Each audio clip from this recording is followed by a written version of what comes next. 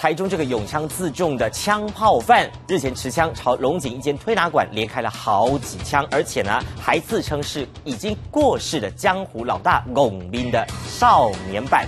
好，看起来是很张扬，但是呢，没有想到当警方查出了他在彰化的大楼里面进行攻坚的时候，发现这位昔日的龚斌老大，竟然是吓到躲在厕所里。霹雳小组荷枪实弹前往彰化这处大楼，拿破坏器材强势破门攻坚。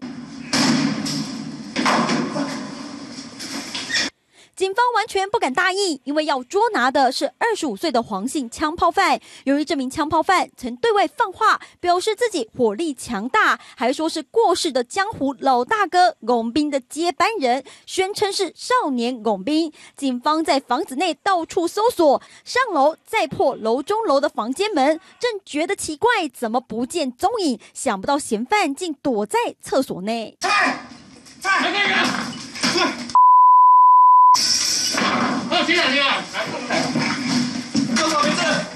从厕所揪出嫌犯，铐上手铐，取出改造手枪以及三十多发子弹。黄姓嫌犯五月份时，为了帮朋友出气，曾拿这把改造手枪对一间推拿馆连开六枪，幸好无人受伤。但当时他的狠劲全没了，看到警方还吓得躲在厕所。他自己的行为有一点比较这个这个嚣张一点啊，戏称自己是这个这个年轻的。